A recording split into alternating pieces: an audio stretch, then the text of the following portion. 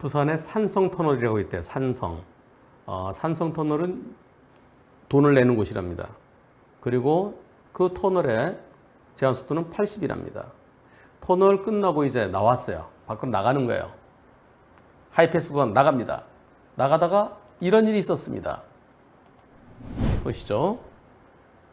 터널 다 지나서 나가는 거예요.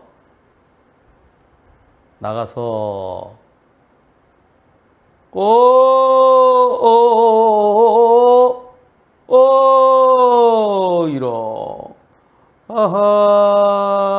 아, 이 차는 어디, 어디 가는 거야? 왜 거꾸로 와? 이 차도 부딪혔나? 아니에요. 이 차는 부딪힌 게 아니고요. 제일 앞에 이 차가 있었어요. 그 뒤에 모닝이 있었어요. 그 다음에 이 트럭이 있었어요. 그 다음에 불박차가 있었어요. 근데 이 차가 가다가 여기서 이렇게 해서 이렇게 나가려고 이쪽으로. 원래 여기는 여기를 나가려면 하이패스로 오면 안 된대요. 여기 요 하이패스로 이렇게 다른 차들처럼 저기는 일반 예, 하이패스 아닌 곳으로 나가야 된대요. 그런데 자 보세요. 네, 이 차는 하이패스 아닌 데로 나가고 좀 나갈 수 있어요. 그리고 여기 차단봉도 있어요. 근데 하이패스가 나온 차가 이렇게 해서 이렇게 나가려고. 그래서 가다가 그 차가 멈추고 그러니까 모닝도 멈추고 트럭 멈추고 블박차 빵. 허허. 요 차, 요 차는 거의 아마 저 뒤에서 빵 때리니까 깜짝 놀래갖고 어, 페달을 갖다 놓친 모양이죠. 브레이크 페달을 밟아야 된다는 걸 갖다 놓친 것 같아요. 요 두 차에게는 잘못이 있다고 말할 수 없죠. 뒤에서 갑자기 뻥 때리는 페달을 놓칠 수도 있죠. 그럼 요 차, 요 차 때문에 일어난 사고예요. 경찰에 갔더니 어, 요 차량 비접촉이네요. 예, 그렇다 그러면 요 둘, 요거 요거 불박차가 100% 잘못이죠. 안전거리 미확보. 이거요 범칙금, 벌점. 여기 사람 여러 명 타 있으면은 어 나중에 40점 넘으면 면허 정지 되잖아요. 근데 그 얘기 듣고 아유, 아유, 아유 접수 안 하고 그냥 왔어요. 보험사에서는 100, 대 빵이래요. 여기도 100%다 해줘야 되고 그리고 요 차를 잡으면은 잡으면 저 차한테 한 2, 30% 부상해 올 수 있대요. 어떻습니까? 근데 저 차 번호가 잘 안 보여요. 옆으로 갔는데 각도가 잘 안 맞아갖고 번호가 안 보이더라고요. 예. 아이고, 아이고, 아이고, 아이고. 그냥 저 차는 그냥 가버렸어요. 누가 더 잘못했습니까? 요 차랑, 불박 차랑. 누가 더 잘못했는지 투표해 보겠습니다. 자, 불박차가 더 잘못했다. 아니다.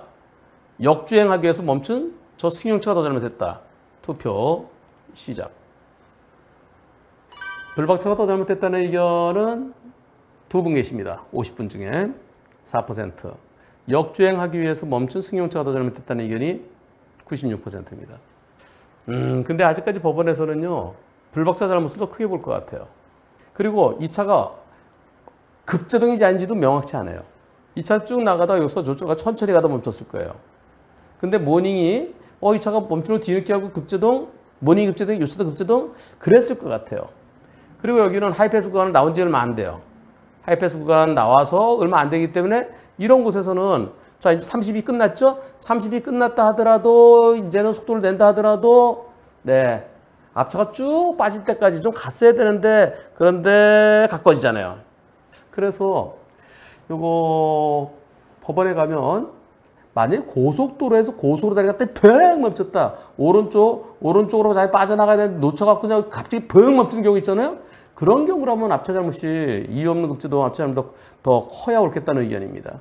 하지만 지금은 마음은 미워요. 마음은 아이고 요 차 정말 밉죠. 그렇수구먼 이저 천천히 마이웨이 예 마음은 이, 이 차가 더 밉습니다.